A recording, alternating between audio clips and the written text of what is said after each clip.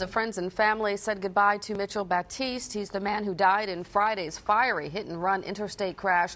He was picking up his brother from the airport because their mother died just a few days before.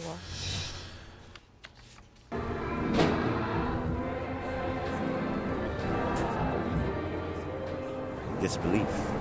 That's the only thing I, I can think of. I'm in a state of shock. It's like the only thing I can say is why.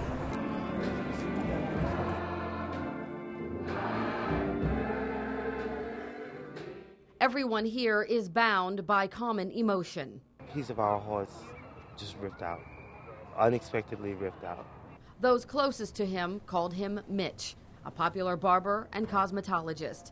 He's described as a lover of life, compassionate, and A very loving, giving, kind, gentle person, full of laughter, full of smile, tre- treated everybody as an individual, and everybody collectively as, as a friend, as a true friend.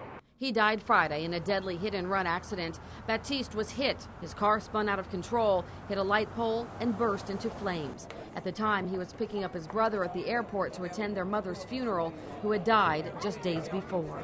You know, coming in town for my mother's funeral, it just threw me.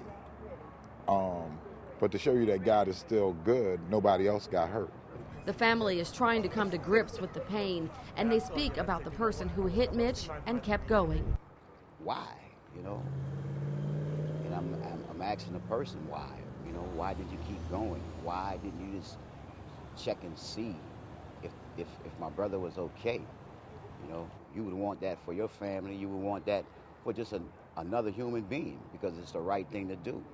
Mitchell Baptiste, gone at the age of 48. But it was it was very heartbreaking, very heartbreaking considering everything that the family was going through already. And police are still looking for the Nissan that did not stop after that crash. Again, that car was either an Altima or a Maxima. That's a Nissan.